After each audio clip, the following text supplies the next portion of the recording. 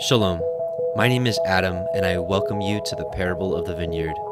Every day, Yahweh is waking up a remnant, a group of people who are coming out of deceptions, realizing our walk is to consist of faith and obedience to his righteous commands.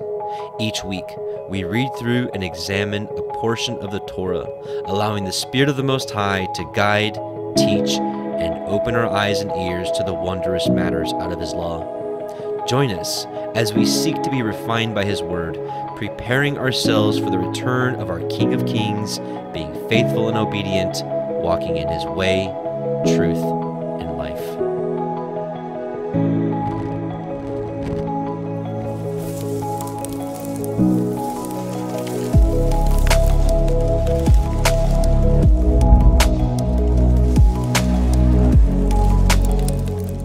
Hey, Shabbat Shalom, and welcome back, brothers and sisters. Welcome to the Parable of the Vineyard. My name is Adam, and I welcome you. This is week 25 of our Torah portion reading and study, which is going to cover Leviticus 6 8 through 836.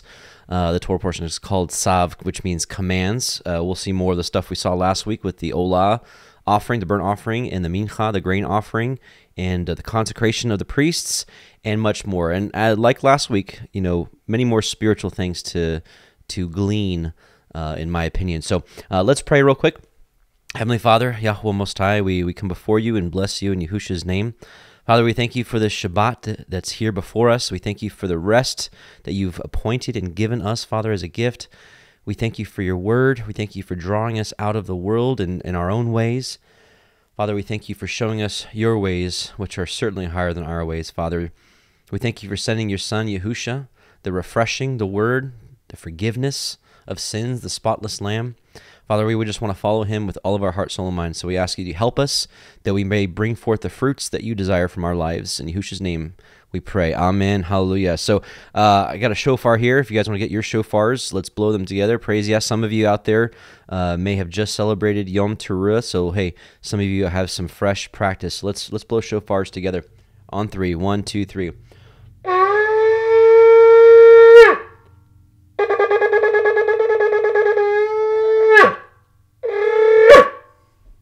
Praise Yah. So in case you're wondering why uh, my face is not here, uh, th- those of you that have been following along uh, over the uh, last couple months or so, this this week's this year's Torah portion cycle, I've had uh, just issues, and uh, I've replaced camera. I've um, done almost anything, everything I could. I've looked all the suggestions. some of you mentioned looking at the white clip, the the black clip. Um, it's, it's green screen terms and nothing seems to work. I thought I had it fixed the other day with uh, the Jubilees uh, and Solar Calendar study recording, but uh, anyways, here we are. And uh, so, praise Yah, I figured it would just be a lot less um, um, distraction with just without the camera flickering and all that this week. So uh, maybe it's maybe it's even better this way. Uh, we'll see. But I would like to start with. Um, Let's start with uh, Mark 12, 28 through 34. Uh, I just want to read this um, before we get started. We'll read it again uh, through the Torah portion. And as a reminder, uh, if I happen to go too fast or anything, remember there's always uh, study notes in the description box below. So Mark 12, 28 to 34 says, And one of the scribes came, having heard them reasoning together and perceiving that he had answered them well, asked him, Which is the first commandment of all? And Yahusha answered him, The first of all the commandments is, Hear, O Israel, Yahweh Elohim is one. And you shall love Yahweh Elohim with all your heart, with all your soul, with all your mind, and with all your strength. This is the first commandment. And the second is like, namely this, you shall love your neighbor as yourself. There is none other commandment greater than these. And the scribe said unto him, Well, master, you have said the truth, for there is one Elohim, and there is none other but he and to love him with all the heart and with all the understanding and with all the soul and with all the strength, and to love his neighbor as himself is more than all whole burnt offerings and sacrifices. And these are kind of the sentiments we, we left off with last week. For those of you that were able to watch all the way to the end, we end uh, we ended with uh, Sirach 35, I believe, off top of my head, which really I think shares the heart of what Yah is really looking for and uh, this man, he, he said it right, is more than all whole burnt offerings and sacrifices. And when Yahusha saw that he answered discreetly, he said unto him, You are not far from the kingdom of Elohim. And no man after that durst ask him any questions. So, just uh, before we get back into the uh, the midst of Leviticus here with these animal sacrifices and uh, just sharing the heart of Yah, what He really is looking for from us. so, with that being said, let's get to the Torah portion. We will still still do the uh, the word audio reading, and uh, then we'll we'll so we'll have the word audio play chapter six verses eight through the end, and then we'll come back and want to mention a few things on chapter six, and we'll do likewise for seven and eight. So let's go ahead and listen in chapter six, verse eight. Vaikra, Leviticus chapter six. And Yahweh spoke unto Moshe, saying, If a soul sin and commit a transgression against Yahweh, and lie unto his neighbor, in that which was delivered him to keep, or in fellowship, or in a thing taken away by violence, or has deceived his neighbor, or have found that which was lost, and lies concerning it, and swears falsely, in any of these that a man does, sinning therein, then it shall be, because he has sinned and is guilty, that he shall restore that which he took violently away, or the thing which he has deceitfully gotten, or that which was delivered him to keep, or the lost thing which he found, or all that which he has sworn falsely, he shall even restore it in the principal, and shall add the fifth part more thereto, and give it unto him to whom it appertains, in the day of his trespass offering. And he shall bring his trespass offering unto Yahweh, a ram without blemish out of the flock, with your estimation for a trespass offering unto the priest. And the priest shall make an atonement for him before Yahweh, and it shall be forgiven him for anything of all that he has done in trespass therein. Sorry, and now Yahweh verse spoke eight. unto Moshe, saying, Command Aaron and his sons, saying, This is the Torah of the burnt offering. It is the burnt offering because of the burning upon the altar all night unto the morning, and the fire of the altar shall be burning in it.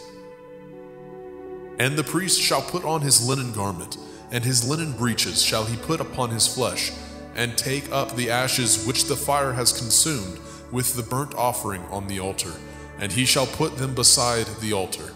And he shall put off his garments, and put on other garments, and carry forth the ashes without the camp unto a clean place. And the fire upon the altar shall be burning in it. It shall not be put out. And the priest shall burn wood on it every morning, and lay the burnt offering in order upon it, and he shall burn thereon the fat of the peace offerings. The fire shall ever be burning upon the altar, it shall never go out. And this is the Torah of the meat offering. The sons of Aharon shall offer it before Yahweh, before the altar. And he shall take of it his handful of the flour of the meat offering, and of the oil thereof, and all the frankincense which is upon the meat offering, and shall burn it upon the altar for a sweet savor, even the memorial of it unto Yahweh. And the remainder thereof shall Aharon and his sons eat, with matzah, unleavened bread, shall it be eaten in the holy place, in the court of the tabernacle of the assembly, they shall eat it. It shall not be baken with leaven. I have given it unto them for their portion of my offering made by fire. It is most holy, as is the sin offering, and as the trespass offering. All the males among the children of Aharon shall eat of it. It shall be a statute forever in your generations, concerning the offerings of Yahweh made by fire. Everyone that touches them shall be holy. And Yahweh spoke unto Moshe, saying, This is the offering of Aharon and his sons, which they shall offer unto Yahweh in the day when he is anointed. The tenth part of an ephah of fine flour for a meat offering perpetual, half of it in the morning and half thereof at night.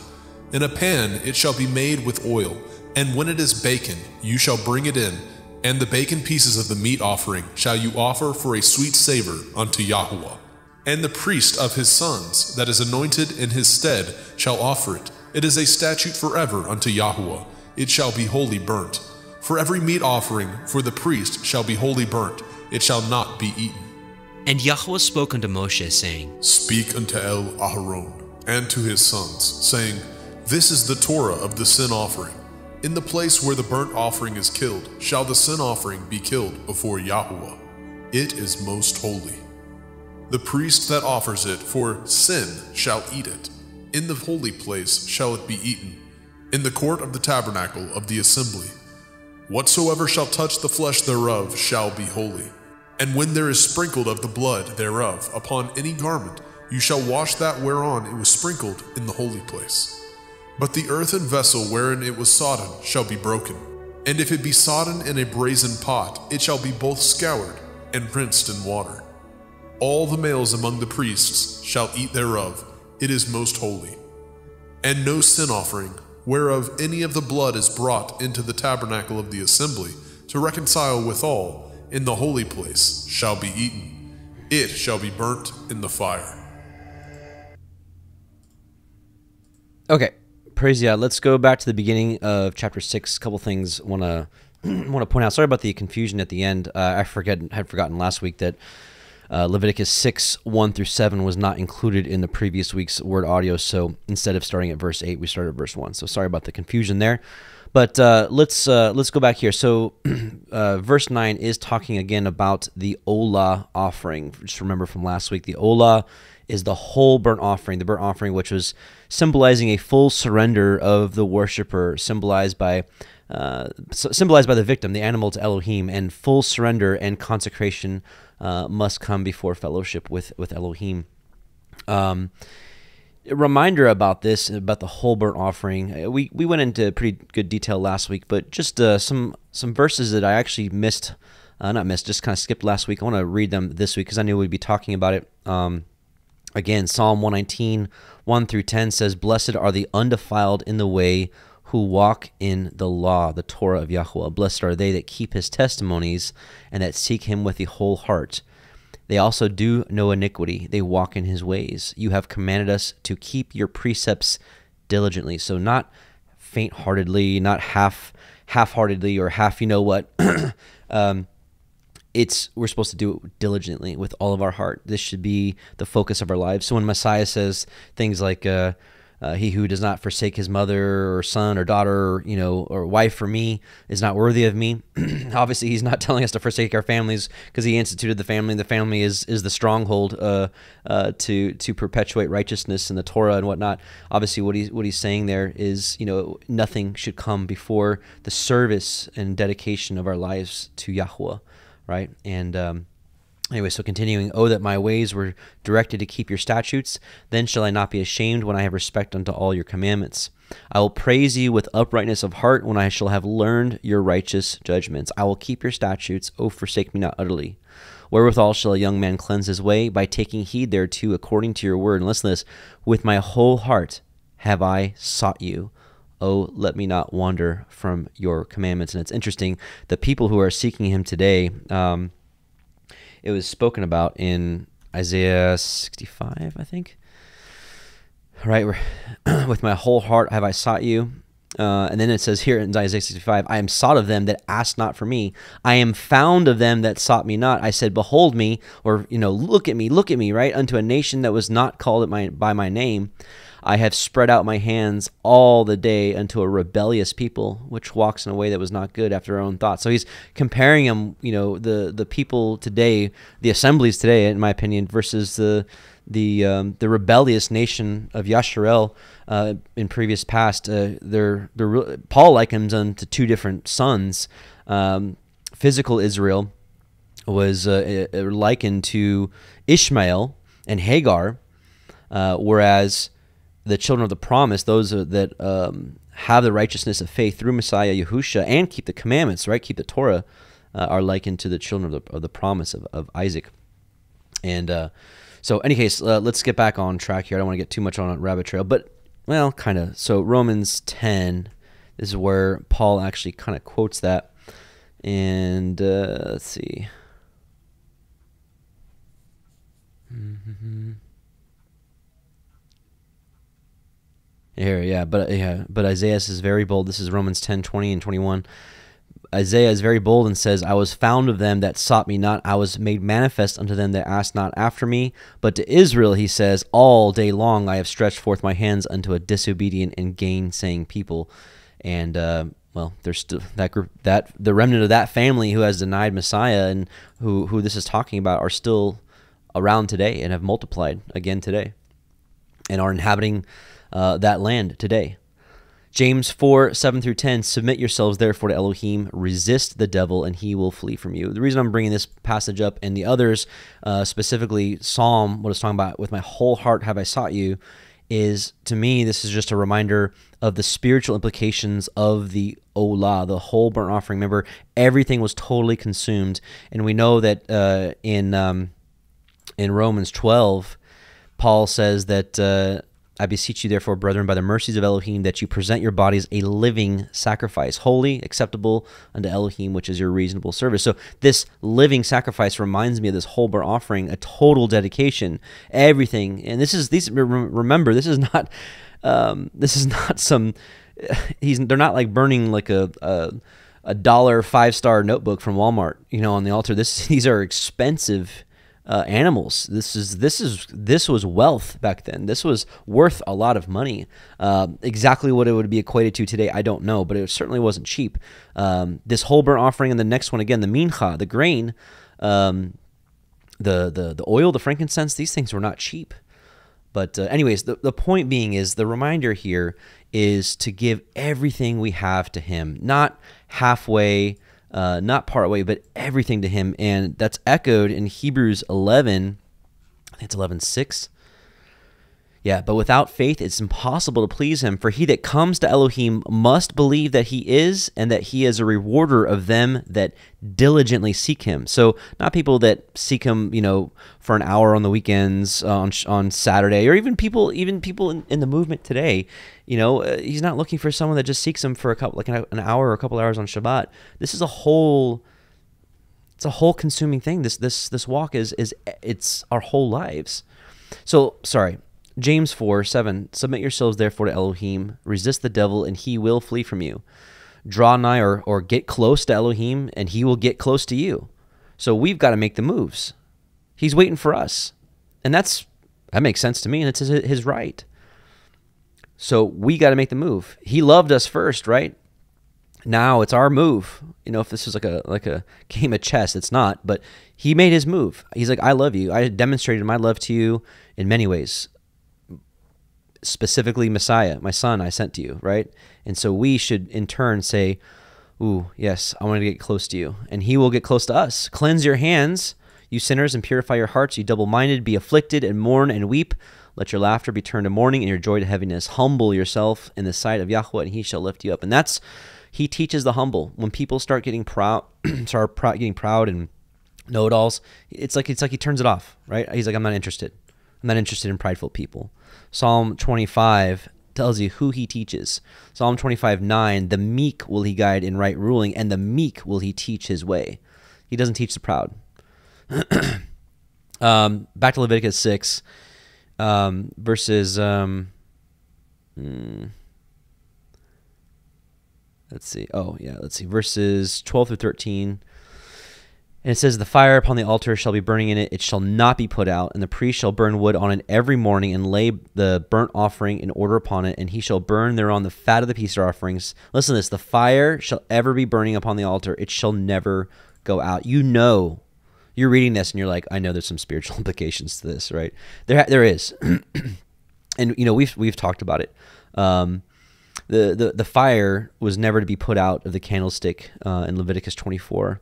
Um, just go ahead and uh, let's go ahead and pull that up.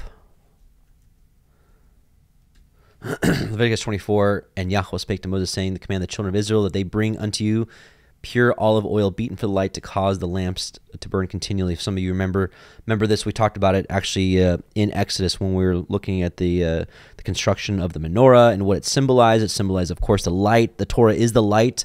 Uh, Proverbs 6:23 says the commandment is a lamp and the Torah is light.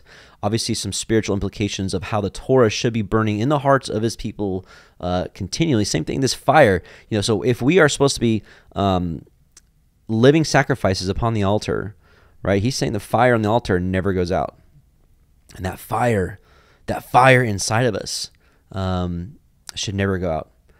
You know, it's Jeremiah. As he say, fire in my bones. Yeah, Jeremiah 29 through 13. Then I said, I will not make mention of him, nor speak any more in his name. But his word was in mine heart, as a burning fire shut up in my bones, and I was weary with forbearing, and I could not stay. So basically, he's like saying, I, I wanted to, uh, I wanted to, to, to stop it. Um, you know, I wanted to just be quiet, but your fire, your word is in me like a fire, and it's got to come out. And I couldn't, I couldn't hold myself. For I heard the defaming of many, fear on every side anyways, um, yeah, I mean Jeremiah, he know he knows what it feels like, right? For thousands, hundreds, tens of thousands, hundreds of thousands of people to hate him, right? And he's like, I'd rather just be quiet. He's like, I can't. I can't. So let the fire on our altars of our hearts never go out, brothers and sisters.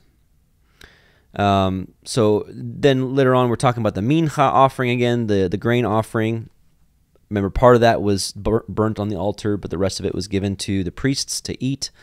Uh, the grain offering, drawing near to Yahweh and offering our lives uh, to our fellow man and to Him. You know, my, uh, the ingredients of the grain offering was uh, uh, flour, of course. Um, it specifically said fine flour in the previous chapter, um, which, if you didn't know, back then they had to grind the they had to grind the wheat and if you've never ground before, uh, I've done I've I've ground corn before. I remember I remember uh, um, back in back in school we were learning about the, the early settlers and, and, and, about the Native Americans and. Uh, and, and we they got a pestle, a mortar and pestle, and we we had to sit there and grind that corn. It's it's laborious, uh, and to get it in a fine power in a fine form, that was ex- uh, extra laborious. Um, so, anyways, the flour the flour uh, was fine. Uh, then, of course, you've got the oil. We talked about that last week about how the oil, how expensive it was back then, and the frankincense. Uh, especially think about this in the wilderness uh, where they're getting this stuff. Um, but of course, he was pointing towards when they'd be in the land, and, and if they followed Yah, the, the, the harvest would be bountiful. And if the harvest were bountiful, then of course they'd have plenty for these offerings and uh, out of a willing heart. Um, but, um, you know, the oil could certainly uh, symbolize. In this offering, you had the the flour. You know, man has been likened to grain, or, or even the word has been likened to grain before. Um, uh, oil, uh, symbol of the Ruach Hakodesh, the Holy Spirit. We know that uh, priests and kings were anointed with oil. Uh, 1 Samuel 16:13. So Samuel took the horn of oil and anointed him, David, in the midst of his brothers, and the Spirit of Yahweh rushed upon David from that day forward. Uh, Song of Solomon 1 3, your oils have a pleasing fragrance, and your name is like purified oil. Therefore, the young women love you. And, uh, you know, his name could be, his name is pronunciation, Yahweh, Yahusha. Um, uh, or it could be his, his, his Torah, his commandments, his precepts. And then Matthew 25, 1 through 3, then the kingdom of heaven will be compared to ten virgins who took their lamps and went out to meet the bridegroom, and five of them were foolish and five were prudent. For when the foolish took their lamps, they did not take oil with them. And so I just find it kind of interesting. And then uh, furthermore, oh, uh, next click. Uh, you know, we know that uh, the incense is likened to our prayers. And we had taken the book. This is Revelation 5 8. When he had taken the book, the four beasts and the four and twenty elders fell down before the Lamb, having every one of them harps and golden vials full of odors, which are the prayers of the saints. Same sentiments here in Revelation 8 3 through 4. And another angel came and stood at the altar, having a golden censer, and there was given unto him much incense, that he should offer it with the prayers of all saints upon the golden altar which was before the throne. And the smoke of the incense, which came with the prayers of the saints, ascended up before Elohim out of the angel's hand. So, what are we seeing here? I don't know. I'm not trying to make something out of nothing here, but this offering uh, obviously was was special. It was a willing offering uh, and it was very expensive. And uh, I, I, certainly think that we can um, glean some implications here um, with that. So let's keep going here at verse 16.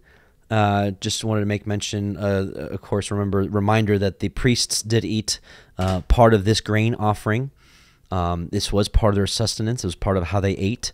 Um, let's see, verse 17. It shall not be baking with leaven. Just a reminder again from last week. A lot of this stuff is is uh, reminders from last week, but some of you may not have been able to see last week. Matthew 16, 11 through 12. How is it that you do not understand that I did not speak it to you about bread, but beware of the leaven of the Pharisees and Sadducees? Sorry. Then they understood that he did not say, Beware of the leaven of the bread, but of the teaching of the Pharisees and the Sadducees. So, you know, his offerings shouldn't have any of the doctrines of men attached to it, uh, if that makes sense. So, our prayers should be genuine from the heart, not some pre pre written, um, uh, you know, prayer that someone else wrote for you to just repeat every day. Uh, uh, uh, hence, you know, what Messiah even rebuked about the Jews uh, of his day and the, and their repetitive prayers and how they prayed. And guess what? They still do it the same way today. They still do the same rocking motion back and forth um, for time on end, uh, without end, and um, repeating the same prayers every day. And so, point being is, I think you can see some of that in here that he doesn't want leaven. He doesn't want man-made doctrines with his offerings, right? Uh, it's supposed to be holy, set apart. Um, let's go to verse 26 of Leviticus 6 and uh, speak to El Um, all right, so this is something to think about, right? The the priests also ate the sin offerings. That's, I mean, we could probably have a whole discussion on what that means uh, for the priest to eat the sin. To me, the first thing that pops into mind is, well, didn't Messiah consume our sin with his offering? Um, maybe, maybe you know, it could be pointing towards uh, Messiah. But at the end of the day, uh, this was food for them. It was sustenance.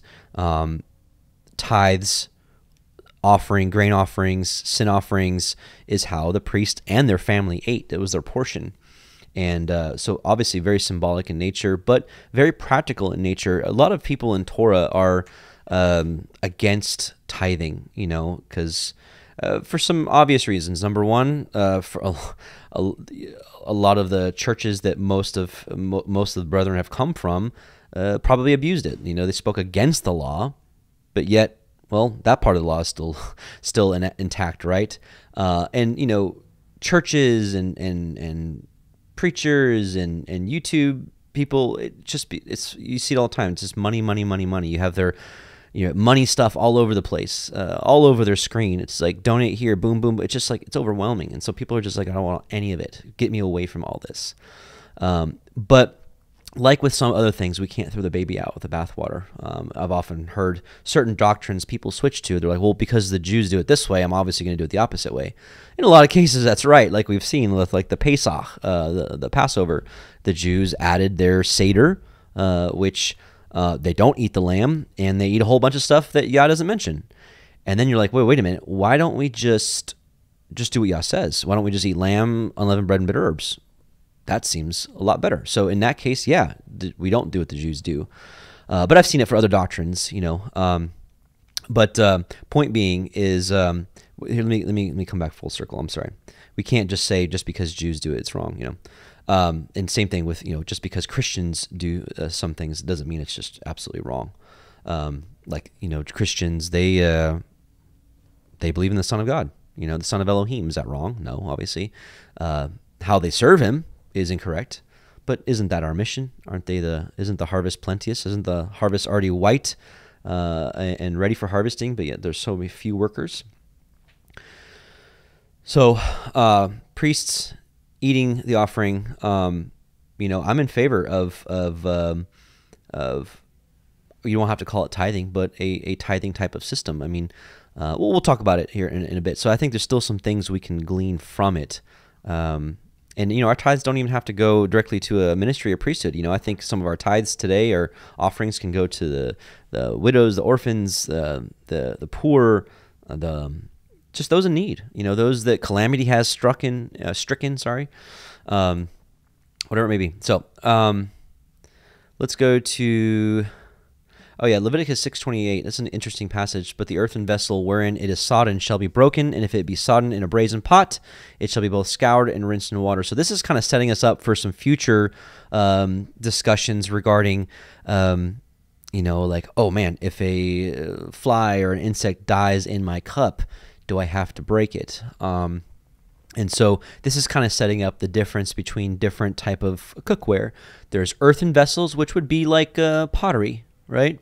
Um, it's as we know, it's very porous, and bacteria and things like that can get deep in there. Back in, back then, I don't know if that was common knowledge. Uh, you know, I don't know if they had microscopes and all that kind of stuff back then. But now uh, we know why the, the you know, why there's a difference a, a differentiating between uh, earthen vessel and one like a brazen pot. We know a brazen pot, like it says here, can be scoured and rinse in water. It can be legitimately fully cleaned because the surface is uh, mostly flat and not porous. Of course, if you zoom in on anything, almost everything has some um, has some porous elements to it. I don't know how to write English for that, but um, certainly earthen vessels are extremely porous, uh, giving uh, an opportunity for bacteria and other things to uh, uh to manifest and things like that. So, uh, but that's going to lead up to uh, this is talking about blood, of course.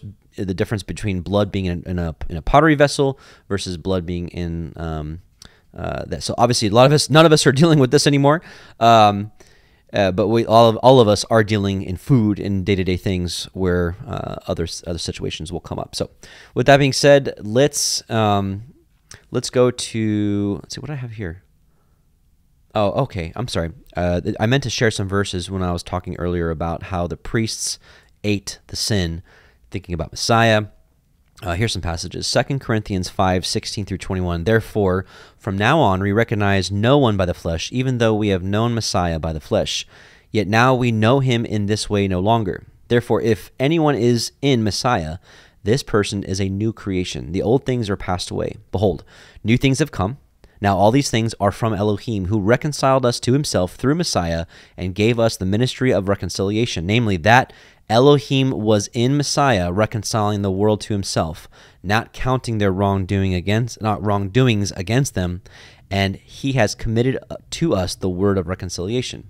Therefore, we are ambassadors for Messiah, as though Elohim were making an appeal through us. We beg you on behalf of Messiah, be reconciled to Elohim. He made him who knew no sin to be sin in our behalf so that we might become the righteousness of Elohim in him. And praise be to Yah for sending Yahusha to uh, for us. Um, yeah, I'm not gonna read that one. I think that was that was some notes from last year, and I'm just yeah. Hey, brothers and sisters, I grow each year two. I, I look at my notes from last year. I'm like, oh yeah, that's got to go. And then Yah gives more, right? He gives more each year and I believe that's that's the goal here is we're going to keep studying this each year and grow closer to him and understand his word better that we can actually carry it out in our lives. Because remember it doesn't matter how much scripture we know. What matters is how much can we apply to our life. Because hearers of the word are not justified but doers of the word are justified before Elohim. Romans 2:13 so let's go to Leviticus uh, 7. We'll listen in and then we'll, uh, we'll have some things to talk about. So here we go. Vayikra, Leviticus chapter 7. Likewise, this is the Torah of the trespass offering. It is most holy. In the place where they kill the burnt offering, shall they kill the trespass offering, and the blood thereof shall he sprinkle round about upon the altar.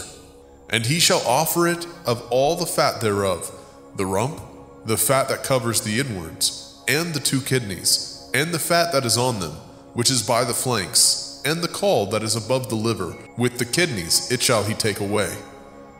And the priest shall burn them upon the altar for an offering made by fire unto Yahweh. It is a trespass offering. Every male among the priests shall eat thereof. It shall be eaten in the holy place. It is most holy. As the sin offering is, so is the trespass offering. There is one Torah for them. The priest that makes atonement therewith shall have it. And the priest that offers any man's burnt offering, even the priest shall have to himself the skin of the burnt offering which he has offered. And all the meat offering that is baken in the oven, and all that is dressed in the frying pan, and in the pan, shall be the priest's that offer it. And every meat offering mingled with oil, and dry shall all the sons of Aharon have, one as much as another. And this is the Torah of the sacrifice of peace offerings, which he shall offer unto Yahweh. If he offer it for thanksgiving, then he shall offer with the sacrifice of thanksgiving matzah, unleavened cakes, mingled with oil, and matzah wafers, anointed with oil, and cakes mingled with oil, of fine flour, fried. Besides the cakes, he shall offer for his offering hametz, leavened bread, with the sacrifice of thanksgiving of his peace offerings. And of it he shall offer one out of the whole oblation for a heave offering unto Yahweh, and it shall be the priest that sprinkles the blood of the peace offerings. And the flesh of the sacrifice of his peace offerings for thanksgiving shall be eaten the same day that it is offered. He shall not leave any of it until the morning. But if the sacrifice of his offering be a vow, or a voluntary offering, it shall be eaten the same day that he offers his sacrifice. On the morrow also the remainder of it shall be eaten. But the remainder of the flesh of the sacrifice on the third day shall be burnt with fire. And if any of the flesh of the sacrifice of his peace offerings be eaten at all on the third day, it shall not be accepted, neither shall it be imputed unto him that offers it. It shall be an abomination, and the soul that eats of it shall bear his iniquity. And the flesh that touches any unclean thing shall not be eaten, it shall be burnt with fire. And as for the flesh, all that be clean shall eat thereof. But the soul that eats of the flesh of the sacrifice of peace offerings that pertain unto Yahweh, having his uncleanness upon him, even that soul shall be cut off from his people. Moreover, the soul that shall touch any unclean thing, as the uncleanness of man, or any unclean beast, or any abominable unclean thing, and eat of the flesh of the sacrifice of peace offerings, which pertain unto Yahweh, even that soul shall be cut off from his people. And Yahweh spoke unto Moshe, saying, Speak unto the children of Yasharel, saying, Ye shall eat no manner of fat, of ox or of sheep or of goat, and the fat of the beast that dies of itself, and the fat of that which is torn with beast, may be used in any other use, but ye shall in no wise eat of it. For whosoever eats the fat of the beast, of which men offer an offering made by fire unto Yahweh, even the soul that eats it shall be cut off from his people. Moreover, ye shall eat no manner of blood, whether it be of fowl or of beast, in any of your dwellings. Whatsoever soul it be that eats any manner of blood, even that soul shall be cut off from his people.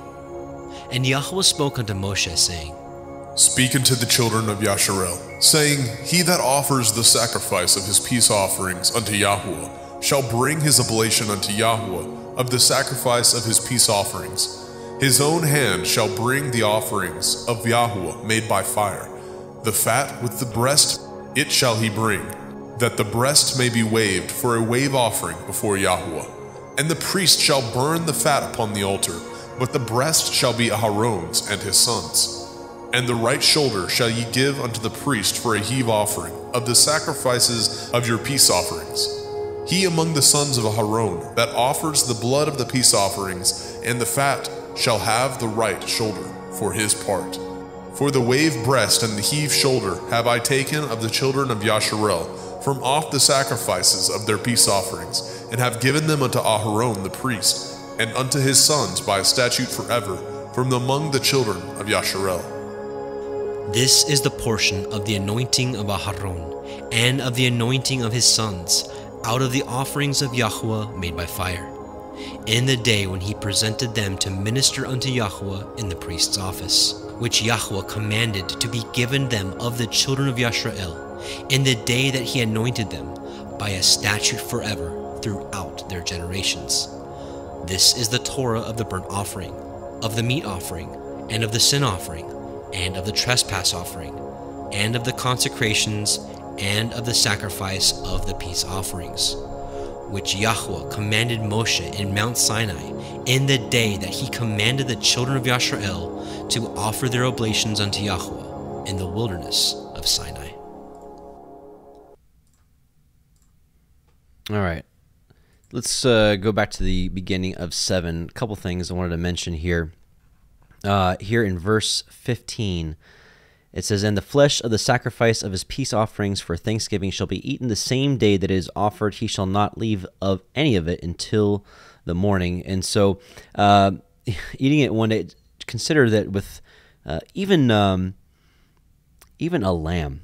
For those of you that have uh, of um, never been able to butcher your own animals, um, even a lamb can feed a lot of people. One, Uh, so consider uh, consider that there would be quite a bit of food here, and it says it has to be eaten in one day.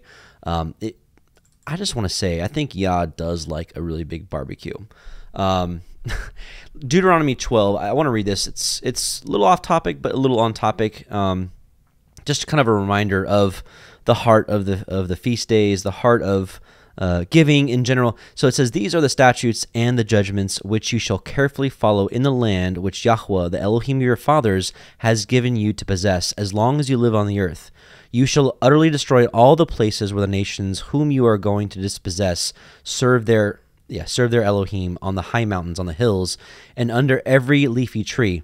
And you shall tear down their altars and smash their memorial stones to pieces and burn their Asherim in the fire and cut to pieces the carved images of their gods. And you shall eliminate their name from that place which all of us have been doing kind of spiritually in our lives right? Like getting all this pagan stuff out of our life. You shall not act this way towards Yahweh Elohim but you shall seek Yahweh at the place which Yahweh Elohim will choose from all your tribes to establish his name there for his dwelling, and you shall come there. You shall bring there your burnt offerings, your sacrifices, your tithes, the contribution of your hand, your vowed offerings, your voluntary offerings, and the firstborn of the herd in your flock. There you and your household shall eat before Yahweh Elohim, and rejoice in all your undertakings in which Yahweh Elohim has blessed you. You shall not do at all what we are doing here today, everyone doing whatever is right in his own eyes. For you have not as yet come to the resting place and the inheritance which Yahweh Elohim is giving you.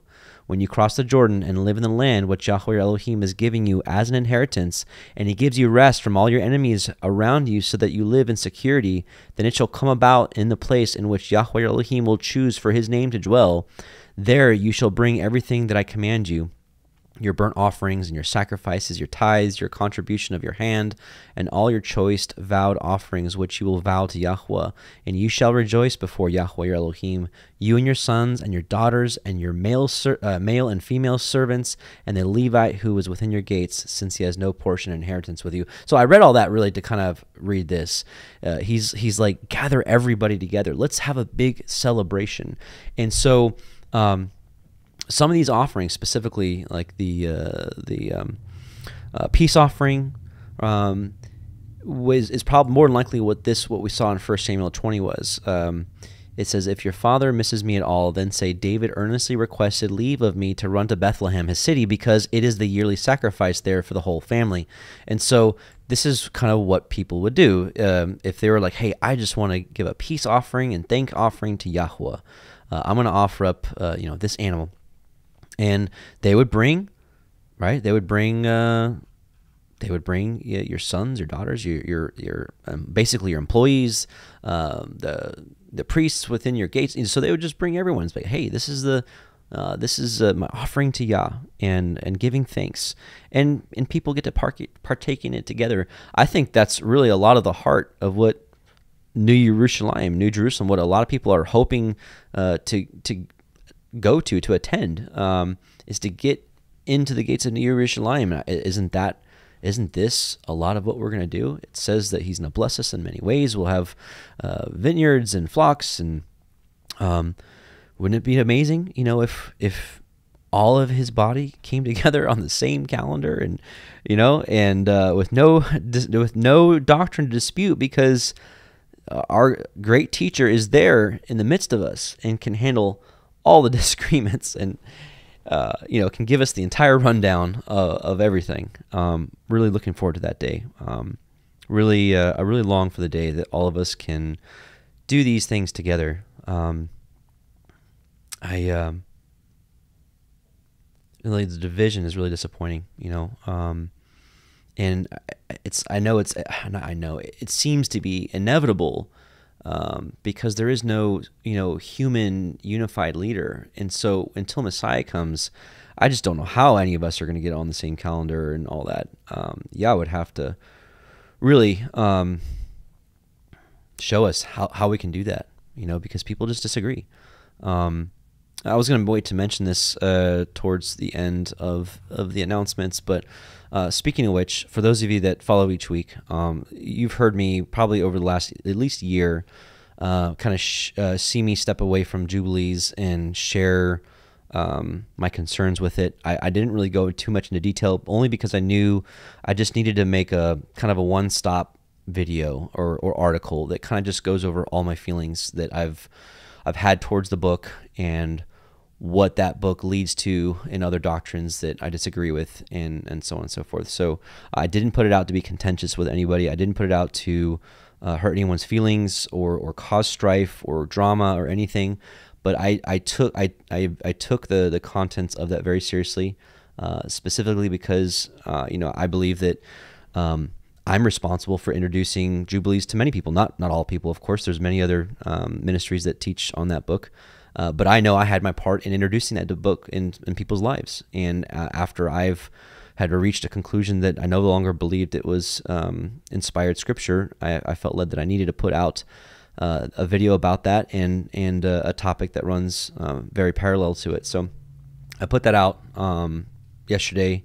So um, if any of you were, were, waiting to really see why I've stepped away from the Book of Jubes fully, um, I've, I've put that out. Um, and again, not an attack on any ministry or anyone in particular. I'm not even calling out people that still believe it's you know scripture just because you know a year ago I did or two years ago I thought it was scripture and uh, you know who am I to, to tell people what to do I, I just put it out there as a testimony of what I've learned and what I believe right or wrong uh, you know if wrong may you have mercy on me and uh, if right, then I give Yah praise for leading me in that direction. Um, so sorry, little rabbit trail there.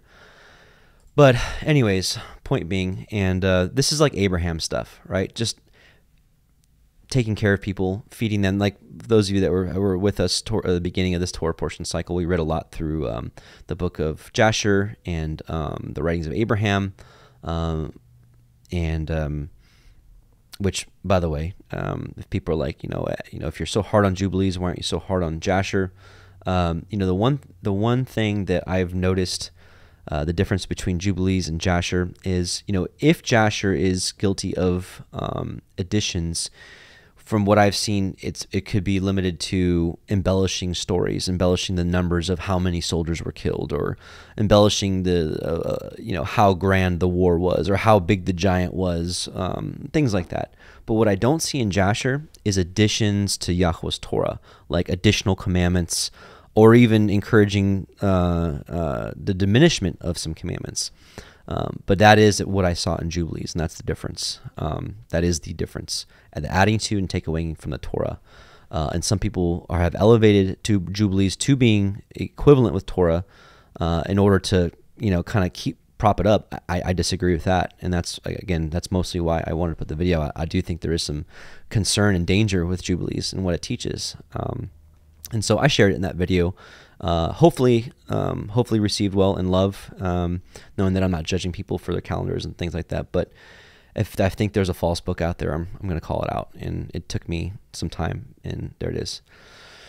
Okay, uh, so back on the the Torah portion. Sorry about that. Um, I uh, what else did I want to read? Okay, let's get back. I gotta get back to this. Is why I have notes, y'all. I gotta get back on track here. Uh, but also, I don't know if you saw, but of course, uh, you know, the Thanksgiving offering, peace offering, is was to be shared with the poor. I don't know if you caught that in Deuteronomy 12. Um, and that's kind of what I was mentioning earlier. Is you know our offerings today um, doesn't have to just be to ministries and stuff, or or you know a, a quote unquote church building or anything. Um, Messiah clearly said in Matthew 25, uh, if you when you did it unto the least of these my brethren, you did it unto me. So if you're trying to like give you know Yahusha or giving Yah offerings, man, what better way than to take care, help someone. Um, just but also just remember, uh, you can also um, help people too much. I don't know why I feel led to say this, but people can also abuse help and assistance, and uh, can and, and, it can lead to other things. The book of stream talks about how sometimes it's even it's more harmful to help, but uh, you know the help he's talking about is lending a hand to those who've you know life has has dealt them you know a, crushing blow. Um, which speaking of which another announcement. Uh, if you go to the parable of the vineyard um, actually uh, i was going to show you. Am i still screen sharing? Yeah okay. So speaking of someone that needs help um, if you go to the community tab here by the way, this is the Book of Jubilees thing I'm talking about.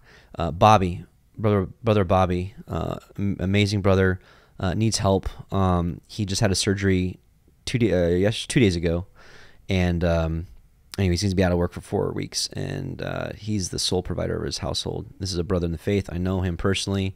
Uh, if you can um, support him in any way, even if it's like just a couple bucks, help him out, please. Okay, um, we are gonna get back to this Torah portion. Leviticus 7:18 If any of the flesh of the sacrifice of his peace offerings be eaten at all on the third day, it shall not be accepted, neither shall it be imputed unto him that offers it. It shall be an abomination. The soul that eats of it shall bear his iniquity. I feel like this is a really important precept in this Torah portion that you can kind of just read right over.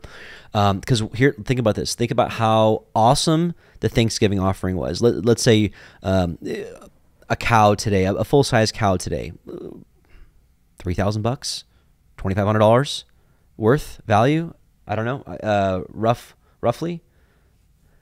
So you're offering that to Yah. You're sharing all the meat with everyone, right? And this is a most holy offering to Yah. But by disobeying one part of that entire process, it become it goes from being a blessing and a sweet savor in Yah's eyes to what? To be an abomination, which we know that word is associated with some really bad things. I mean, some really bad things. Um, and so, see what he's saying here. This stark difference. I mean, it's complete polar opposites. It's literally one of the most pleasing things in his sight to one of the most displeasing things in his sight. And it's and it seems like one little thing. If they continue to eat more of the food on the third day, and so, is it really about eating the food on the third day, right? Or, or what? I think what is he trying to say, even in a greater way here? Uh, I think he's trying to say, listen and do exactly as I ask you to serve me, because if you do it any other way, it goes from being the most favored thing that he could possibly have in his life versus an abomination. And again, what can you give the creator of all things who has everything, owns everything? What can you really give him? What you can give him is your obedience, right? It's he asked the question to Micah. It's so powerful. You should just read it. Um, oh, this is going to be the Torah portion of Rabbit Trails, but it's okay. Micah six. It's just so good. what Elohim requires of mankind. With what shall I come? This is Micah 6 6. What, with what shall I come to Yahweh and bow myself before the Elohim on high? Shall I come to him with burnt offerings, with yearling calves? Does Yahweh take pleasure in thousands of rams and 10,000 rivers of oil? Shall I give him my firstborn for my wrongdoings, the fruit of my body for the sin of my soul?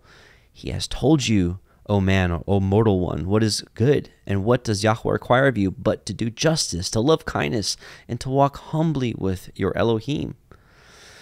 This is what he wants, right? And so the point being is we've got to do it his way or else he don't want it. Sorry for that little twang there, but he doesn't. He doesn't want it. Matthew 15, 1 through 9. Then some of the Pharisees and scribes came to Yahusha from Jerusalem and said, Why do your disciples break the traditions of the elders? For they do not wash their hands when they eat bread. And he answered them and said to them, Why do you yourselves also break the commandment of Elohim for the sake of your tradition? For Elohim said, Honor your father and mother, and the one who speaks evil of father or mother is to be put to death. But you say, Whoever says to his father or mother, Whatever I have that I would help you has been given to Elohim, he is not to honor his father or mother, and by this you have invalidated the word of Elohim for the sake of your tradition. You hypocrites, rightly did Isaiah prophesy about you by saying, This people honors me with their lips, but in their heart, but their heart is far from me, and in vain they do worship me, teaching as doctrines and commandments of men. Because if things are being offered to him that go from being an amazing thing to an abomination, right? That's why they would be worshiping him in vain. And that's why we need to worship him exactly how he says. And remember, out there, you know, you all know that I'm very vocal about not doing Jewish traditions. But just remember, and I could, I'm saying this because I hear this a lot from a lot of you that I love that that uh, you know comment quite uh, often. it's just like it's like just because the Jews do it doesn't make it automatically wrong. We can't throw the baby out with the bathwater. We have to investigate everything we toss off. So again, Passover is an easily um, demonstrable example. He says, "Eat lamb, bitter herbs, unleavened bread." And what do the Jews do? They eat pretty much everything else. No, that's an exaggeration. I'm sorry, but they they don't eat the lamb. Which, as a child growing up in Judaism, I'm like, why aren't we eating the lamb? I don't understand. Why aren't we eating that? And then there's an egg. Okay, I know there's all kinds of cool symbols and stuff, but he doesn't want it. I don't. I don't think Yah even wants that Pesach Seder. Just my opinion. I'm not judging anyone. But if we can go by this precept and standard that he's setting here, does it only apply to this, or can we again? We learned this in uh, the Mishpatim, Exodus uh, 21 through 24. He can't write every single rule in the rule book to apply to every single specific scenario. But what a judge or someone that's in the seat of judgment can look at is say, hey, okay, this is how he feels on this topic. So certainly his heart would carry over if it was a different item or if the scenario was very similar. But uh, the point is, you can glean the heart of Yah through precepts. That's why, you know, when when people um, talk to me about morning to morning versus evening to evening, obviously um, the unleavened bread and uh, atonement is brought up because he gives two examples of evening to evening Sabbath worship. And then people say, will say, you know, and then my thought is, well, he never commanded us to do anything morning to morning. So he's given us two witnesses as precepts is what he's looking for, right? And likewise, um, we all know that some of the feast days, like Sukkot, uh, you know, Sukkot is a feast day. We're supposed to feast and whatnot. There's Sabbaths involved, but there's no mention of, well, how can we cook on the Sabbath and, and still have a feast? It's a Sabbath. What do you want us to do? There's nothing there for Sukkot, nothing. But in Passover, it says, no servile work may be done of you, except that which every man shall eat, that may be done of you. So he's given his heart on, hey, okay, here's a Sabbath, and here's what happens with food. You can no work, but you can you can do you can cook. So he's giving you his heart of what happens on the Sabbath. So in a in a in a similar way, he's given us his heart here of one of the most uh, uh as uh, one of the most amazing offerings, this Thanksgiving offering. Um, sharing it with Yah, sharing it with others, becomes an abomination because the rules aren't followed. And we see that Messiah repeats the same thing here. This people honors me with their lips, but their heart is far from me, and in vain they do worship me, teaching as doctrines the commandments of men. So we got to do it by the book. And this is, uh, this you know, this answers a lot of Christians when when they'll be like, he already said he hates all the Sabbaths and stuff, right? Like, why are we why are we doing it again? But what, what's happening here is it's because they're not doing according to how Yah prescribed it. We know, uh, we know through Isaiah and Jeremiah, they're recorded. They were recorded as having one foot in with Yah and one foot in with the pagan nations. Very similar to what we see with modern day uh, Christianity, which say you know they serve the they believe serve and believe in the Son of the Most High and want to follow Him, but don't actually follow Him and we would prefer to to abide in, in pagan practices such as Christmas and Easter and things like that. So it's nothing is new under the sun. It just gets a facelift. Isaiah 1, 10 through 17, here the this is and by the way, just as a note, verse 1 signifies he's talking to uh, Jerusalem. Uh, hear the word of Yahweh, rulers of Sodom, which he, he he's calling Jerusalem Sodom here. Listen to the instruction of our Elohim, you people of Gomorrah. What are your many sacrifices to me, says Yahweh? I have had enough of burnt offerings of rams and the fat of fattened cattle. cattle. I take no pleasure in the blood of bulls, lambs, or goats. When you come to appear before me, who requires of you this trampling of my courtyards? Do not go, do not go on bringing your worthless offerings. Incense is an abomination to me. New moon and Sabbath, the proclamation of an assembly. I cannot endure wrongdoing in the festive assembly. I hate your new moon festivals and your appointed feasts. They have become a burden to me. I am tired of bearing them. So when you spread out your hands in prayer, I will hide my eyes from you. Yes, even though you offer many prayers, I will not be listening. Your hands are covered with blood. Wash yourselves, make yourselves clean, remove the evil deeds from my sight. Stop doing evil. Learn to do good. Seek justice. Rebuke the oppressor. Obtain justice for the orphan. Plead for the widow's case. Listen, he didn't want any of this because they were wicked people trying to come and offer these offerings before him. These things became abominations to him because they were acting like the world and still yet wanting to come and bringing these offerings they started doing it their own ways. Like, I mean, we know the sin of Jeroboam and the calf. they knew not to do that, but he's like, hey, I want to serve Yah too up here, right? It was even under a even seemingly good uh, thought process. Like, well, we just want to, you know, do it up here, and then of course the calf. You know, he built the altar, then of course the calf, and all the other stuff. Then it was just straight wickedness, of course. But if we don't do it as he prescribed it, then he doesn't want it.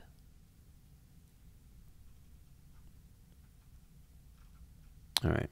Um, and then of course we're not uh, we don't have to need to read it. I know I'm going off on a way rabbit trail already, but Jeremiah, read it for yourself. Jeremiah seven one through eleven basically just says, you know, um, this is this is the one verse I do want to read. He says, "Behold, you are trusting deceptive deceptive words to no avail. Will you steal, murder, commit adultery, swear falsely, offer sacrifices to Baal, and further follow?"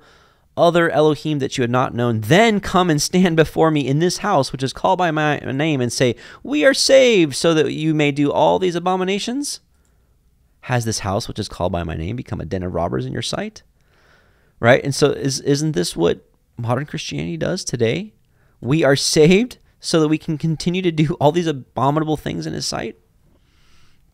This is why we have to continue to have an outstretched arm to our blind and deaf brothers and sisters. Because yeah. That's it.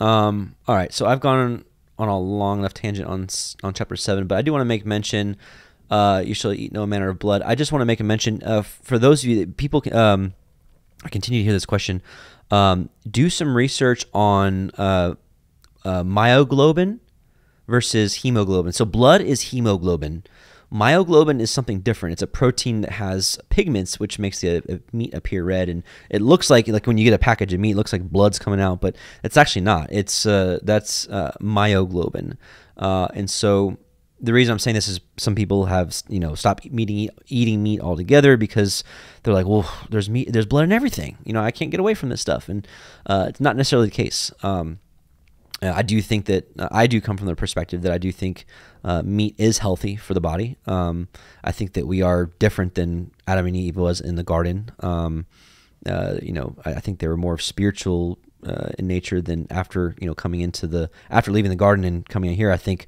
part of that spiritual nature left, and I think the diet was different, and that's why you do see the patriarchs eating meat and and that kind of stuff. So, um, okay, one last thing, and oh yeah, in verse 36, um, it says, which Yahweh commanded to be given them. This is the priests, the children of Yasharel, on the day that he anointed them by a statute forever. So this is the portion uh, of the offerings uh, given to the priests. Again, just kind of going over why did Yah, why would Yah make a, why would Yahweh make a system for the priests uh, to be fed the first fruits, the tithes, um, the offerings. Why why would that be his system? I think Sirach gives us a little sneak peek into the the heart of Yah, or maybe the the the, the thought process of it. This is Sirach 38, 24 through 25. It says, The wisdom of the scribe. Now remember, the scribes were of the Levites. Um, so consider this right here. Let's just say uh, the, the wisdom of, or just let me just read it, Adam. My goodness. The wisdom of the scribe depends on the opportunity of leisure. Leisure does not mean like rich, rich person listening at the pool drinking mai tais all day. Leisure means free time, free time. Uh, and he who has little business may become wise. Uh, how can he who be- I'm sorry, how can he become wise who handles the plow and who glories in the shaft of the goad, who drives oxen and is occupied with their work, and whose talk is about the bulls? The point I'm making here is he, I believe that uh, Yah ordained it this way: that the Levites, which remember the Levites were the the priests, the high priests, the scribes, the musicians, uh, the um, the keepers of the of the, the, the building, right? They they they kept it up and they took the tabernacle up and down, uh, and so I believe that he he made it this way. So this is their full time jobs, and this is why, uh, um, looking at Messiah's words, "A workman's worthy of his hire," and you know Paul has many words on this subject too. Um, you know that talking about the ancient proverb about how you shall not muzzle the ox while it's treading the grain. Know, Paul asked the question: Is it just is this, is he obviously just ta- is he talking about grain, uh, just about oxen? Obviously not. He's talking about those who who minister in the word. And so this is why you know I'm just talking with you all um, again. Uh, I haven't mentioned in a while, but when we do these Torah portions, it's like we're hanging out in my living room and we're reading the scriptures together, and I'm sharing my notes. Um, yeah, what's really cool is those uh, that are here, uh, the local fellowship. Uh, we get to we get to do this together. It's literally part of my favorite time of Shabbat. Is um, is we, we go over the Torah portion and the the uh, prophets part and the New Testament, and we read a chapter. We talk about it. And it's just hearing others and interacting is just literally one of my favorite times of the Shabbat. And um, yeah, which speaking of which, um, those of you that may not know, we do have a weekly um, uh, assembly here. I invite any of y'all, if you're ever passing through the Southwest Missouri area, to email us, reach out to us, and uh, find out where we're at. Uh, or you can just go to ancientpathrevivals.com, and then there's a fellowship tab, and it has all of our fellowship information there. So take a look. Come visit us. We'd love to uh, fellowship with you. Um, but uh, anyways, back to the point. This is why I have, uh, even though many have berated me for it over the years, um, you know, why this is my full time job. Uh, I can tell you firsthand. You know, running an online ministry alone is is a full time job, let alone a in person ministry and and um, or in person fellowship uh, and and whatnot. Uh, it's a full time job. It's all encompassing between the time you need to study, prepare notes, um, you know, getting slides together. Um, um, the comments, questions, the emails, uh, which by the way, if I'm, I'm, I'm currently uh, a couple weeks behind on emails, so forgive me on that. Uh, but balancing that, of course, you know, here, then of course, the local fellowship, you've got um, discipleship, uh, which comes in many forms, uh, mediations, and uh, you know, there's all, all, sorts of things. And so I, I appreciate the way Yah set this up because you know, having a full time job and then trying to do all these things to me it would seem impossible uh, with the time investment because, you know, this is more than a full time job. Anyways, I'm not sitting here just trying to justify what I do here. I, I again, I'm I'm just speaking with you all as if we're in my living room, not as not as me as some grand teacher teaching all all all of my subjects. Uh, you know what we need to be doing. This is me as your brother. We're just having a conversation. Um, and not to be not that this is to be taken lightly as some just casual thing we do this is i'm talking the, the atmosphere is and the way i speak with you all it should be just brother to brother or brother to sister uh, and likewise uh, in return um, a lot of rabbit holes today i apologize so i think this is you know part of the heart of why yahweh created it this way that the levites this was their full-time job and all i'm saying is that i think that you know is uh, can kind of translate in some similar ways today. Um, and um, yeah, so let's go to let's go to chapter eight. We'll, uh, listen in. I got a few things on that, and then we'll uh, finish up this Torah portion. Stay to the end. I've got quite a few announcements, um, and uh, I wanted to share with you all how to stay ahead. Some of you asked how to stay ahead of the reading schedule. I apologize. I'm going to have that uh, all in the information at the end of this video and show you where you can look it up at any time to always stay ahead of the readings. Uh, and also to know that usually we only go over the um, we only go over the Torah portion of the readings. There's also the the writings, the prophets, and the New Testament. Uh, we are going off of Rob Skiba Virtual House Church's schedule. Uh, and so I have failed to make that available for y'all previously, uh, but that everything changes to date. And I'm going to get that information for you at the end. And uh, it'll be also in the description box below. I'll show you what that looks like. Uh, those of you that are watching this video, I know some, we also put this out in um, podcast form too. So, all right, um, Leviticus 8. I'll stop talking. Vayikra, Leviticus chapter 8.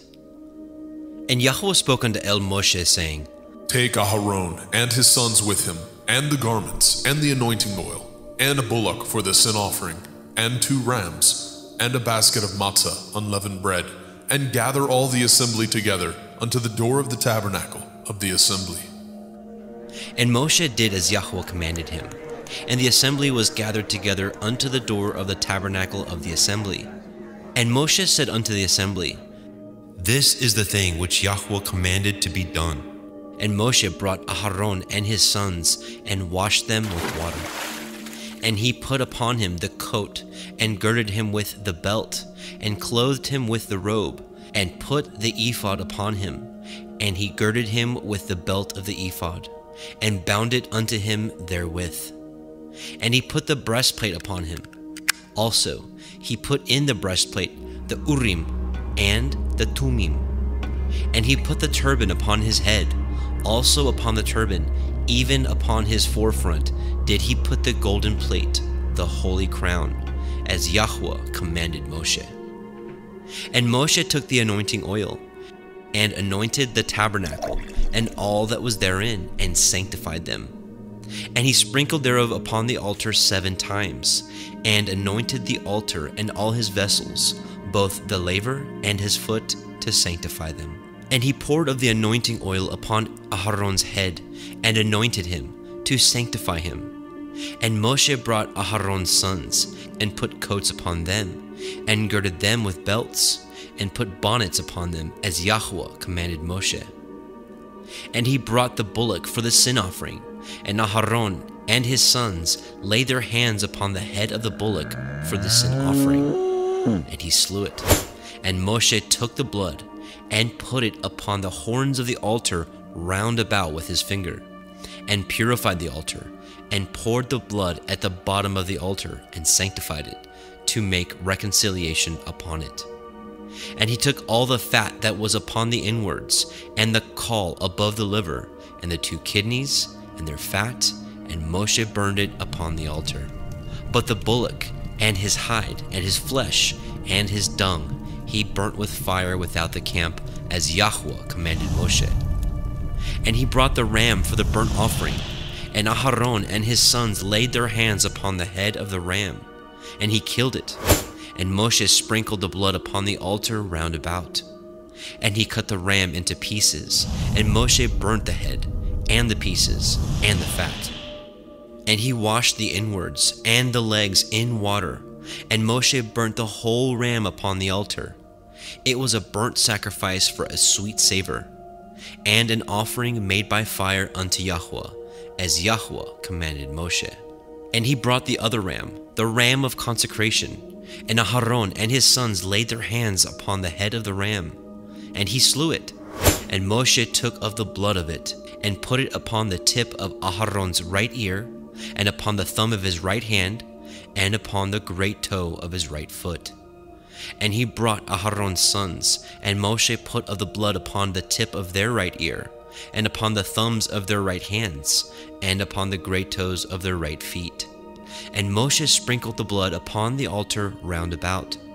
And he took the fat, and the rump, and the fat that was upon the inwards, and the caul above the liver, and the two kidneys, and their fat, and the right shoulder. And out of the basket of matzah that was before Yahweh, he took one matzah cake, and a cake of oiled bread, and one wafer, and put them on the fat and upon the right shoulder. And he put all upon Aharon's hands and upon his son's hands, and waved them for a wave offering before Yahweh. And Moshe took them from off their hands, and burnt them on the altar upon the burnt offering.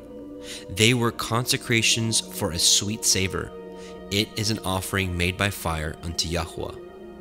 And Moshe took the breast, and waved it for a wave offering before Yahweh. For of the ram of consecration it was Moshe's part, as Yahweh commanded Moshe. And Moshe took of the anointing oil, and of the blood which was upon the altar, and sprinkled it upon Aharon and his garments, and upon his sons, and upon his sons' garments with him, and sanctified Aharon and his garments, and his sons, and his sons' garments with him. And Moshe said unto El Aharon and to his sons, Boil the flesh at the door of the tabernacle of the assembly, and there eat it, with the bread that is in the basket of consecrations, as I commanded, saying, Aharon and his sons shall eat it. And that which remains of the flesh and of the bread shall ye burn with fire. And ye shall not go out of the door of the tabernacle of the assembly in seven days, until the days of your consecration be at an end. For seven days shall he consecrate you. As he has done this day, so Yahweh has commanded to do, to make an atonement for you. Therefore shall ye abide at the door of the tabernacle of the assembly day and night seven days, and guard the watch of Yahweh, that ye die not. For so I am commanded. So Aharon and his sons did all the things which Yahweh commanded by the hand of Moshe. Okay, as you heard it right there, uh, Aharon and Moshe did all the things.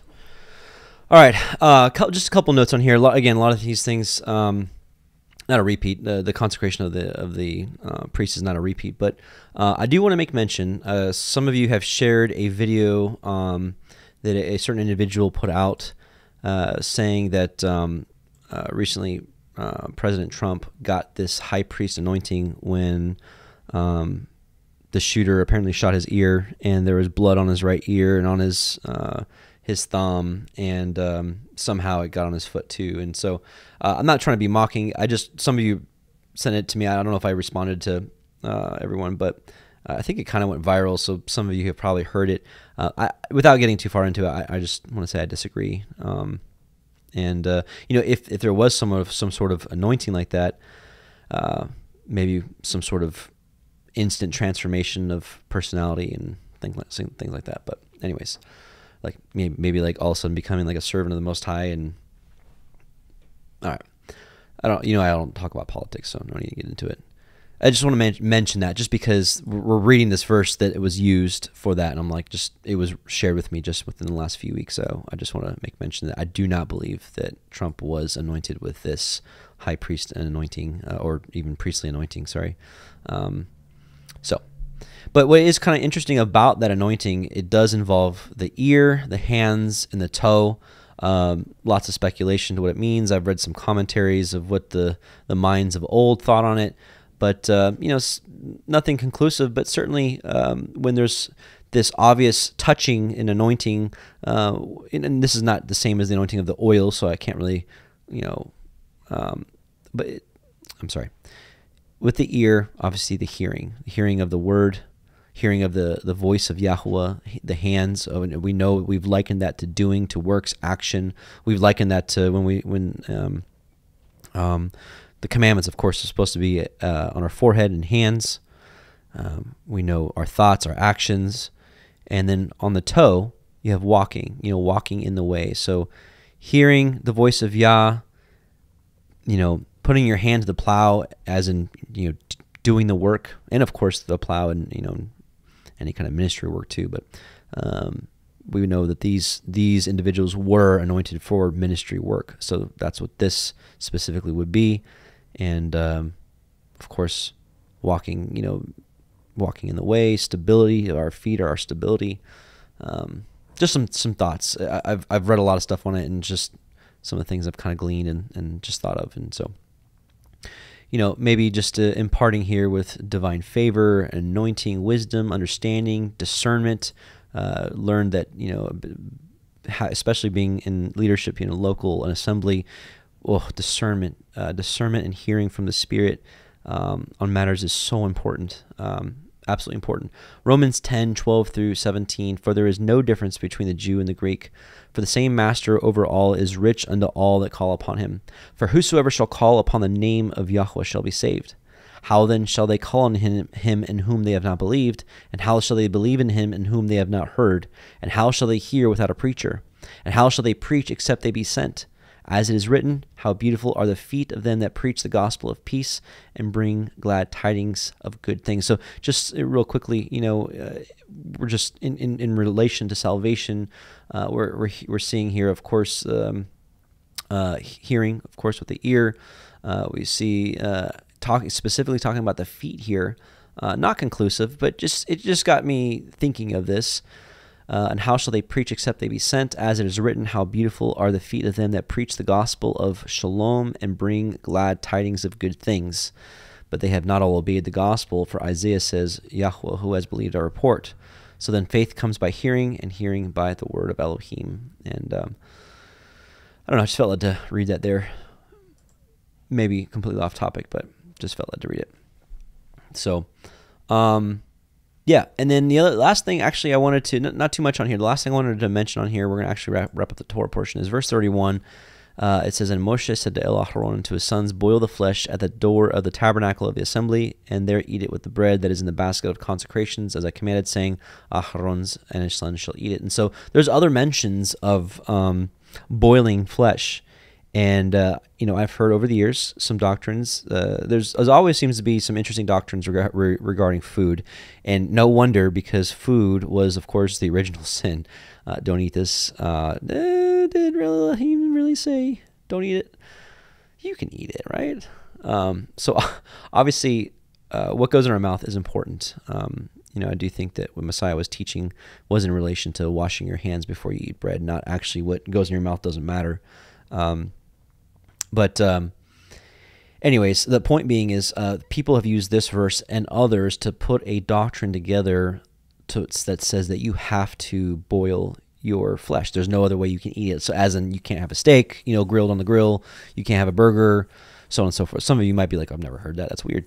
Um, I'm just mentioning this because, uh, again, we're hanging out in my living room and just mentioning things that I've come across uh, in in uh, uh, my not so many years in this walk. I know there's probably some of you listening that have probably been doing this as long as I've been alive, uh, 42 years, um, and I've been aware of the way well, it doesn't matter. It really doesn't matter. The point being is, is I've just picked this up along the way, and um, I think a lot of us have picked up some different things along the way, or you know, picked them up and put them back down, and be like, wait a minute, I'm gonna retest that. That's not not so. Uh, I've never clung on to this doctrine, um, but uh, the reason I say that it, I don't believe it's a command from Yah, even though we see several examples of cooking, boiling uh, boiling meat. I mean, let me tell you something. I boil a lot of meat. Uh, to me, that's just slow cooking. Uh, I like to. I, I, use my crock pot more than anything, and I love um, boiling my meat. Uh, but to command people and say that's the only way you can do it. So Exodus twelve nine, uh, it's talking about, the, of course, the Passover lamb. Eat not of it raw, nor sodden it all with water, but roast with fire. Right. And so people can say, well, he's giving an exception here, but does I mean, is that how Yah rolls? He gives exceptions to break the commandments. I mean, that, that just doesn't seem like the heart that he has. I could be wrong, and I, I, I am not speaking for him. Um, I'm just saying he's not a, an Elohim of contradiction, is what I've seen in my in my examination examination of the scriptures. And so, if he's got a, a, a, a law here that literally says don't sodden it, but literally roast it with fire, you know, I'm just saying, hey, that can't, to me, that just can't be a doctrine. Like, I think boiling flesh is a great idea. And people usually say that because they say you have to boil it first to get all the blood out. And that's not really true. Again, hence uh, what we talked about earlier, doing our research of the difference between hemoglobin, which is blood, versus myoglobin, which rests in the muscle, muscle um, and, and meat tissue. So, uh, with that being said, uh, I want to finish just by saying uh, in the Aramaic, it's interesting that it talks about how this whole consecration for uh, Aaron and his sons is because of the sin of the golden calf. So, whether that's true or not, I don't know. I do want to mention, I, I want to share with you guys uh, some uh, announcements. First of all, some of you have been asking how you can um, how you can stay ahead of the readings. So um, I, I'm going to be leaving a link for all of the different portions. So this is the Leviticus portion. So we just did uh, Tsav, right? So next week is going to be this one. All you got to do is just click on this link and it'll bring up all the readings. So as you'll see, we're just going to cover Leviticus, Leviticus 9 through 11, but each week there's other readings. There's, um, you know, a lot, a, not, not a lot. Most often we'll read some of these through our studies but uh, this is just way too much to go through line by line. We'd, it would be like a four-hour study each week, and it's just it's not realistic for for me, and probably not for a lot of you. Some of you are like, it doesn't matter. I'll I'll, I'll listen to a twelve-hour study, and I get it. You guys are some hard chargers, but not everyone can do that. Uh, and uh, I talk fast enough so you can't. I'm sure most of you can't listen to me on double speed or 1.75. I listen. Listen. I listen to most most things on 1.5, 1.75.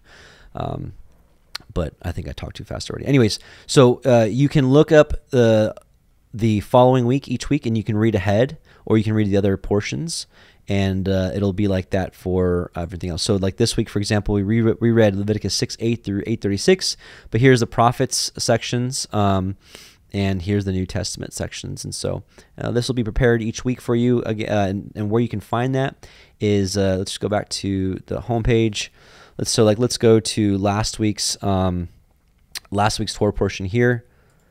If you just go to the see more section here, right here, Torah portion schedule, virtual house, church, Rob Skiba. So you, you at least know that we're in Leviticus, and maybe next year on the calendar I'll try to pre-plan the Torah portions so you can know it. But here, uh, so like here Leviticus, and that'll take you to um, the page we were just at, and you can kind of find where we're at. So.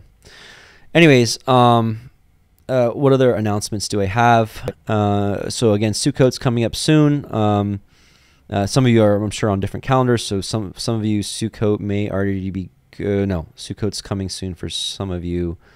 I'm so confused on everyone's calendar. Which also, by the way, um, some people got upset with me of the timing of the I, when I released the Jubilees uh, Jubilees video that it was on Yom Teruah for some people. I really apologize. I thought I positioned that uh, on not on Yom Teruah, but I forgot some people are on evening to evening, some are morning to morning. I got really confused. It was not on purpose. I apologize uh, for anyone here that was um, uh, offended in any way on that. Um, which uh, happy Yom Teruah for anyone that's you know maybe maybe celebrating it just recently celebrated or getting ready to. Um, ours Yom Teruah, the calendar we do will be um, uh, it was the evening of October third uh, through the evening of the fourth.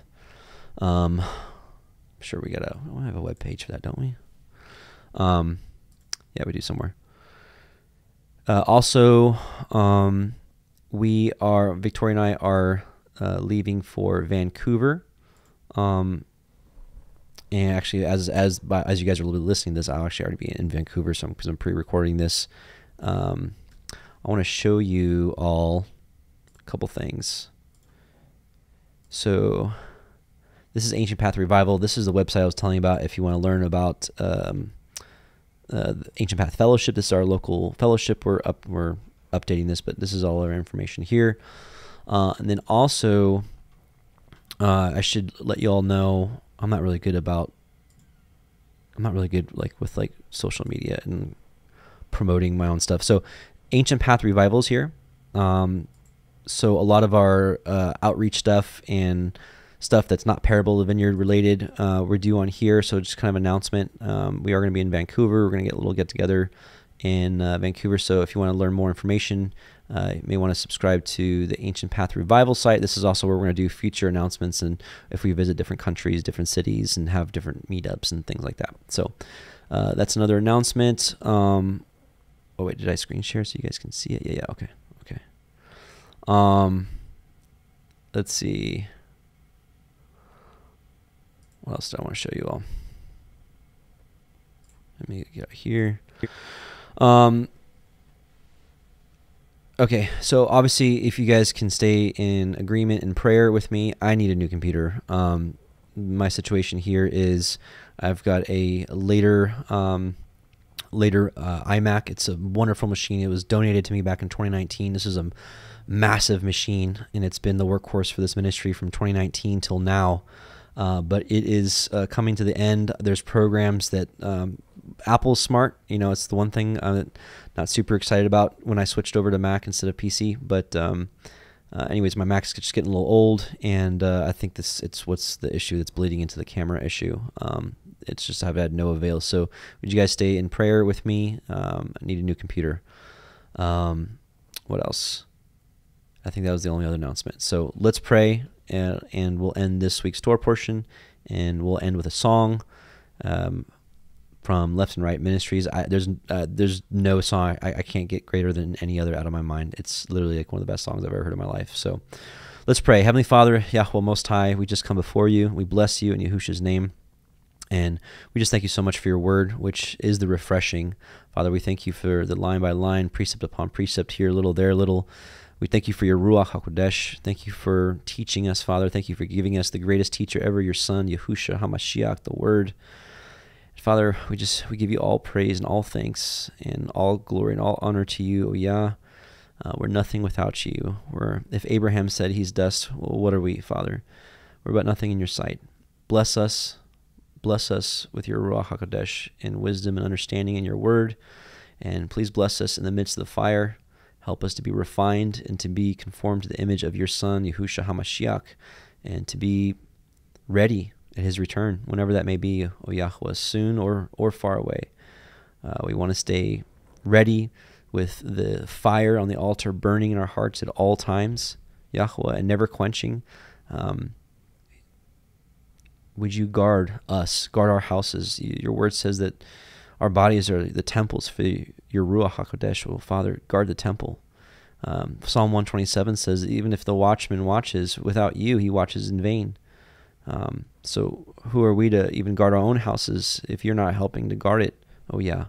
Be with us, and we bless you in Yahushua's name. Amen. Hallelujah. All right, brothers and sisters. So, uh, Left and Right Ministries, greater than any other best song ever? Question mark.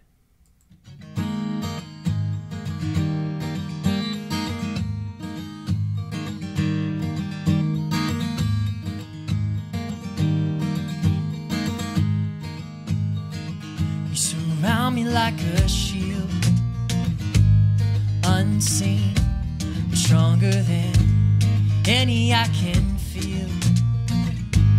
Almighty God, I know you're real. You strengthen my hands, my fingers for battle. You've given me hope.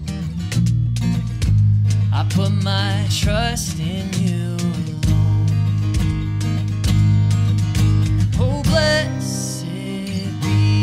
Yahuah, my rock.